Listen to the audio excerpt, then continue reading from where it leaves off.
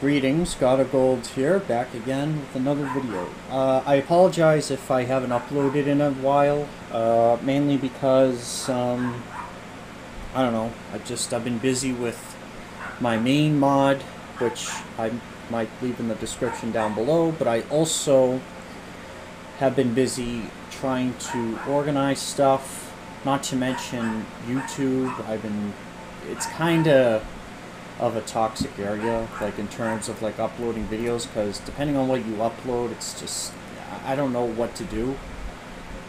So I guess you could say I'm a little picky about content that I make, but there's a reason for it. Um, anyways, aside from the background that I have, I am here today to show you how you can edit a mod's uh, vital files. What I mean by that is the .mod files. Now, let's say, for example, you go into the launcher, and how do you, this is how you make a brief mod thing, by the way. So you go to the launcher, you go to all installed mods, then you go upload mod, which obviously you won't be doing. Then you go create a mod, and let's say you just want to call it my mod. You can do the same for the directory, because but the directory is required, so this has to match a majority of the time, or if all the time. So version, this is like the version of your mod, not the supported version of the game. That's automatically generated using the launcher once done. So you could just put something like this, or you could just put zero, it's up to you. Same with the directory. You could do underscores, you could do lowercase, but it has to match. Remember that. This is where all the file stuff is. This is like basically the content. Hence the directory for the mod. So once you do that, you create the mod, and you'll get this pop up. Now, you may see it in your playset. Uh, some reason I did it twice. Actually, no, that was from the other one because that was another test. But basically, once you do that, um, just ignore this. This is only one of these exists, so don't worry about that. But what the main important thing is, in order to edit the path and stuff, make sure it's all correct, you go into the mod files, as well as the descriptor. You go the one that's outside the folder and one that's inside. Each and every mod will have stuff like this. So what you do is, let's say if you have a different version, whether if it's 1.10 or maybe if it is 1.11, my recommendation is to do this, the stars. So that this way you can see what it is and how to use it it's pretty straightforward. However, in the future, you may get updates. So, like, you could get 1.12. So, like, once 1.12 comes, I'm guessing that's uh, bound by blood only. By blood only. Whatever that DLC is coming out.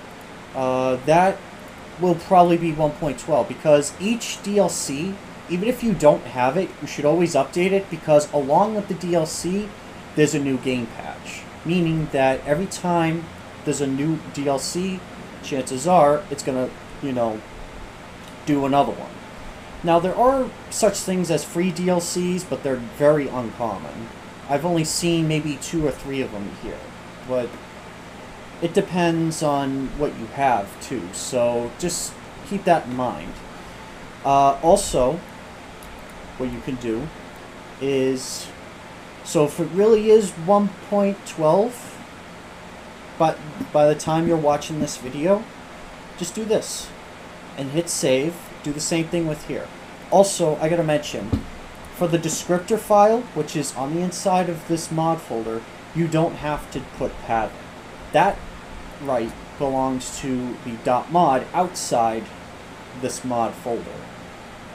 So basically you could do stuff like that. But just keep in mind that, you know, when you're making mods, just look out for the pathing. And if you want to, you can change the version, but this one is pretty much optional. But if you're running like a big mod, or you're a big modder like me, you'll probably update it. It won't affect much in the game. It just tells you, hey, this is, you know, an updated version of your mod. Supported version is way more important. Remember that. Well, and then after that, you just go back into the launcher, go to your playset, find it, and if you can't find it, I'll show you very quickly. If you can't find the mod anywhere on the playset, that is because the mod itself, like right here, I don't know why there's two, but basically, whenever, like if you can't find this, if they are nowhere to be found, you just go into add more mods, and there it is. Stuff like that.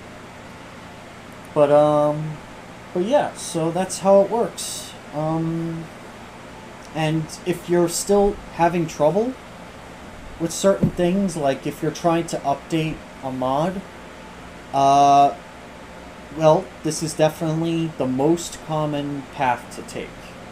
So, if you're new to modding, I think I, I hope, I think I helped you a little further and I wish you best of luck. Happy modding, and I'll see you in the next video.